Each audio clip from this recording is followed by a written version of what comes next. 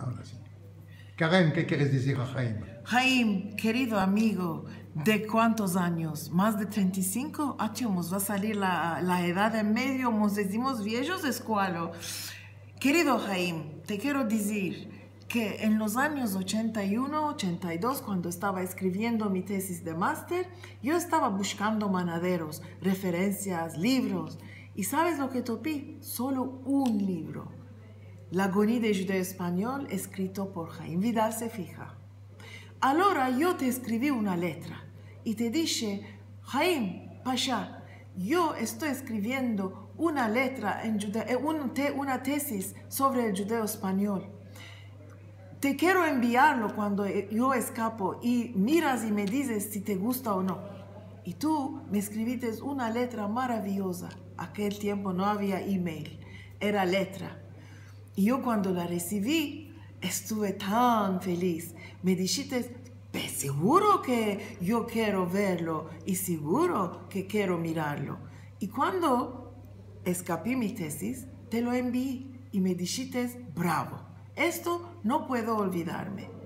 Después, los años 1984, el Shalom eh, cambió, el Shalom trocó de mano.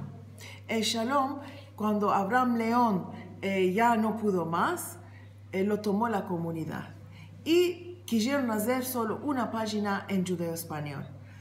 Todos querían escribir a sus maneras, en turco, a la francesa, yo les dije, mira, vamos a demandar al pionario de este, del judeo español. Vamos a demandar a Jaime Vidal Cefija, profesor en la Sorbonne, y más que querés.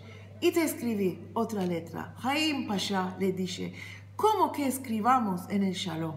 Y me dijiste, seguro que a la turca vas a escribir. ¿Y cómo quieres escribir? Y cuando tomé esta letra, me fui a los grandes, Naim Villarius, Jaime Becherano, y les dije, mira, esto es lo que el profesor nos dice. Ahora vamos a, vamos a hacer lo que el profesor nos dice. Y el Shalom eh, tuvo una página en judeo español escrito con la fonética turca porque tú nos dijiste que escribamos así. Y Ancina todos pudieron meldar lo que estaba escrito. Gracias a ti.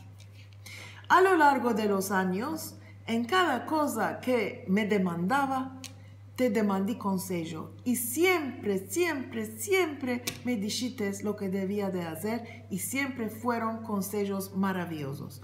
No me puedo olvidar de esto y te tengo un amor eh, muy grande para ti y espero que nos vas a vivir muchos años largos con salud y vidas largas.